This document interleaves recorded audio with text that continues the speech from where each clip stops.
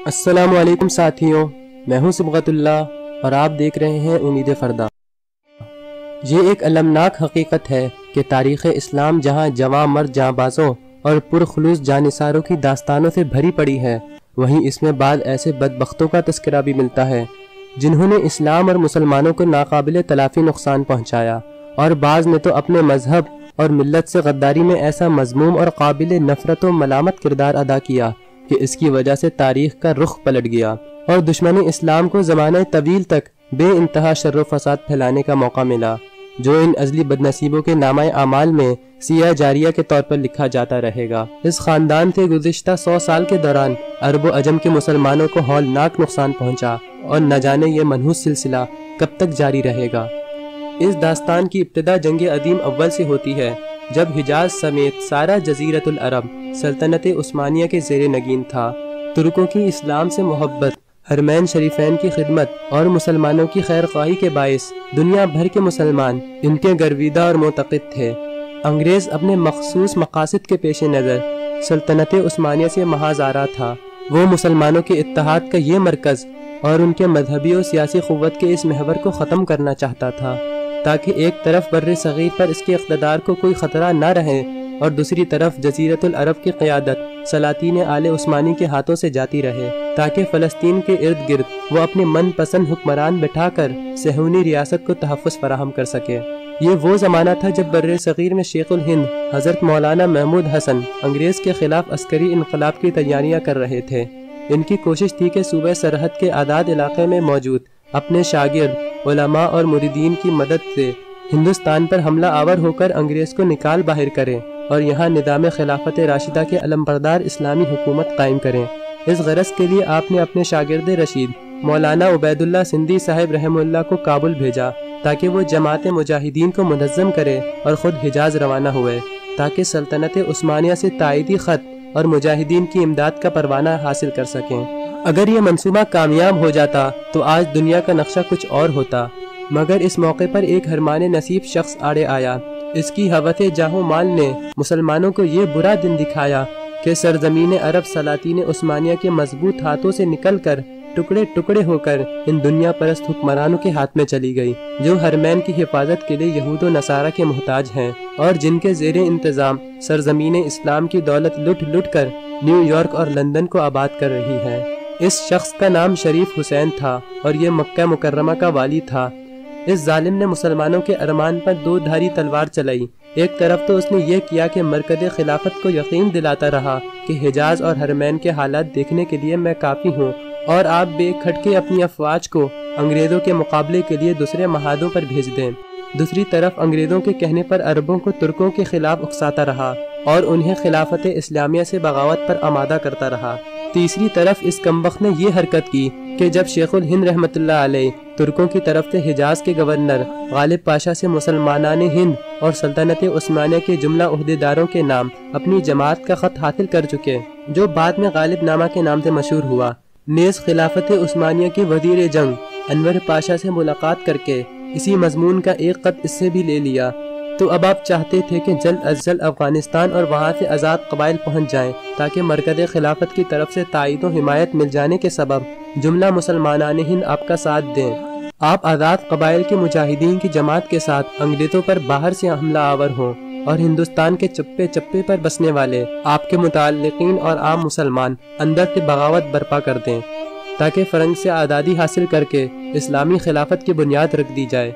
लेकिन मस्कुरा बाला शख्स ने अंग्रेज़ों के कहने पर इस नाजुक मौके में आपको माओ रफ़ा गिरफ़्तार कर लिया गया और फिर आपको मिस्र और वहाँ से माल्टा भेज दिया गया, जहाँ आपने कैद का तवील जमाना काटा और न सिर्फ़ ये कि हिंदुस्तान आज़ाद होकर मुसलमानों के हाथ न आ सका, बल्कि मकामात मुकदसा भी इसी शख्स की साजिशों से उस्मानी सल्तनत के जेर नगी ना रहे और जजीर अरब के हिस्से बखरे करके इसे छोटी छोटी रियासतों में तकसीम कर दिया गया यहाँ की हुकूमत उन हुक्मरानों के हाथों में आ गई जो कसीर वसाइल और बेहिसाब दौलत इकट्ठी करने के बावजूद अपने पड़ोस में मौजूद फलस्तीनी मुसलमानों के किसी काम आते हैं और न दुनिया के दीगर हिस्से में बसने वाले मुसलमानों को इनसे कोई फ़ायदा पहुँचता है। माना कि ये लोग इसराइल की अस्करी मजामत नहीं कर सकते, लेकिन जो फलस्तीनी महाजरीन पड़ोसी ममालिक के कैंपों में बसते हैं, उनकी माली मदद करके इनको माशी मसाइल थे तो बेपरवाह कर सकते थे, ताकि इनके नौजवान बेफिक्र जिहाद में हिस्सा ले सकें। लेकिन इनसे ये भी नहीं होता। अंग्रेज़ों के इस गुमाश्ते को लालच थी कि खिलाफत उस्मानिया के सकूत के बाद इसे हिजाज की हुकूमत मिल जाएगी। लेकिन इसका ये अरमान पूरा न हो सका। आले सऊद के हिजाज पर गलबा पा लेने के बाद अंग्रेज़ों ने इससे नज़रें फेर ली और इसे यहाँ से रसवाई और हजीमत उठाकर भागना पड़ा। इसने शाम में जाकर पनाह ली और इस मौके पर अंग्रेज़ों ने इसे दूसरा काम सौंपा, जिसको इसके मरने के बाद इसकी औलाद आज तक पूरा कर रही है। इस कम नसीब ने अंग्रेज़ों की बेवफाई का मुशाहिदा कर लेने के बाद भी इनका आलाकार बनना मंजूर कर लिया और इसका ख़ानदान नस्ल दर नस्ल ये ज़िम्मेदारी पूरा करता आ रहा है। इस मरतबा इसे ये ज़िम्मेदारी दी गई कि फ़लस्तीन के मशरक़ी किनारे की, जहाँ उर्दन वाक़ है, निगरानी संभाल ले और सहूनी मुफादात का तहफ़ करे। इस इलाके से न फ़लस्तीनी मुसलमानों को कोई इमदाद पहुँच सके और न बैरूनी दुनिया का फ़लस्तीन से ज़मीनी रबता रहे। वो दिन और आज का दिन ये शख्स और उसकी औलाद, फ़लस्तीन के पड़ोस में वो सब करती है, जिससे यहूदियों को तहफ़ मिले। गोया इसने मुसलमान होकर फ़लस्तीन के गिर्द ऐसा हिसार कायम कर रखा है, जिसका फ़ायदा मजलूम और महसूर फ़लस्तीनियों को नहीं, गासिब और जाबिर यहूदियों को मिले। इसके मरने के बाद इसका एक बेटा इराक शाम और दूसरा उर्दन का हुक्मरान बना। इराक शाम की हुक्मरानी तो उन्नीस सौ अट्ठावन में इस खानदान से छिन गई, अलबत्ता उर्दन अभी तक इनके बेबरकत हाथों में है। इसके बेटे अब्दुल्ला बिन हुसैन ने 30 साल तक उर्दन पर हुक्मरानी की। इस दौरान इसराइल वजूद में आया मुस्तकम हुआ और ये गद्दारी मिल्लत तमाशा देखता रहा। इसके बाद शरीफ हुसैन का पोता तलाल बिन अब्दुल्ला उर्दन का हुक्मरान हुआ, लेकिन इसे एक ही साल हुक्मरानी नसीब हुई। बाद अदा दिमागी बीमारी की वजह से इसे तख्त से दस्तबरदार होना पड़ा। इसके बाद इसका पड़ पोता हुसैन बिन तलाल हुक्मरान हुआ, जिसे दुनिया शाह हुसैन के नाम से जानती है। इसने तकरीबन निफ सदी तक उर्दन को सहूनियत के तहफ़ का मरकज बनाए रखा। इसी के दौर में, उन्नीस सौ सड़सठ ईस्वी में इसराइल ने हमला करके दरियाए उर्दन का मगरबी किनारा छीन लिया और उसे यहूदा और सामरा नामी दो हिस्सों में तकसीम किया। लेकिन फ़लस्तीनी महाजरीन से वहशियाना सलूक करने वाला ये हुक्मरान बीमार बत्तख की तरह मरियल आवाज़ निकालने के अलावा कुछ न कर सका।